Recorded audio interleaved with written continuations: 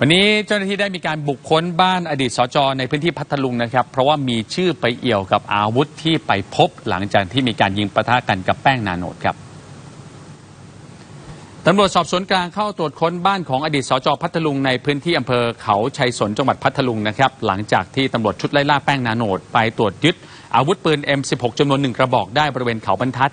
และพอเอาไปตรวจสอบปรากฏว่าอาวุธปืนนั้นมีการตอกเลขทะเบียนไว้ ทั้งทั้งที่เป็นอาวุธปืนสงครามนะครับ แล้วก็ยังพบด้วยว่าทะเบียนที่พบนั้นก็ไปตรงกับเลขทะเบียนอาวุธปืนที่อดีตสจ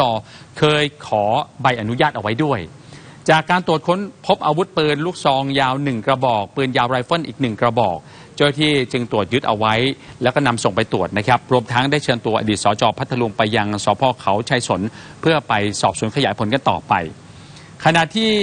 ผู้บัญชาการตำรวจแห่งชาติพลตำรวจเอกต่อศักดิ์สุขวิมลครับได้ออกมาเปิดเผยถึงความคืบหน้าในการติดตามตัวแป้งนาโนด หลังจากหลบหนีไปได้นะครับ เจ้าหน้าที่ยังคงเร่งติดตามตัวอย่างต่อเนื่อง และตอนนี้ใช้กำลังพลกว่า 200 นายเพื่อติดตามครับ ซึ่งจากการพิสูจน์ DNA จากอุปกรณ์และเสื้อผ้าที่เจอบริเวณเขาบรรทัด อันนี้ใกล้ความจริงเข้ามาทุกทีแล้วครับเพราะว่ายืนยันว่าเป็นของเสียแป้งจริง โดยเชื่อว่าเสียแป้งยังคงหลบหนีอยู่บนเทือกเขาอย่างแน่นอนครับ